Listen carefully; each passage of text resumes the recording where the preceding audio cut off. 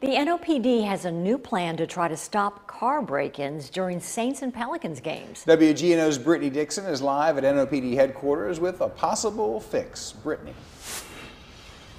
Yeah, there's been questions surrounding security at these parking lots floating around, and the NOPD says there's a reason they don't have any. These are private parking lots that are supposed to have private security.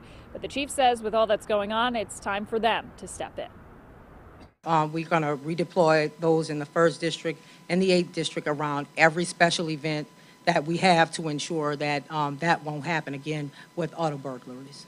That's after conversations between the NOPD and officials from the Saints and the Pelicans. Chief Woodfork says patrols will be added all around the Superdome and Smoothie King Center, not just near those parking lots.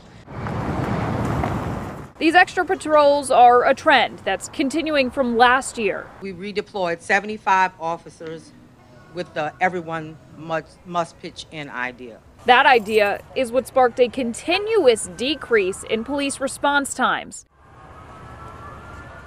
Yet we acknowledge that there is still a very long road ahead of us as we navigate personnel shortages and the root causes of crime. Those personnel shortages are what was responsible for cutting Mardi Gras parade routes over the last two years. When we asked her thoughts and plans for security for this season, I am not con- not concerned about it. Um, we uh, have a plan in place for that, and um, myself and, and the mayor are going to discuss that tomorrow at a, a, another press conference to let you know exactly where we are on that.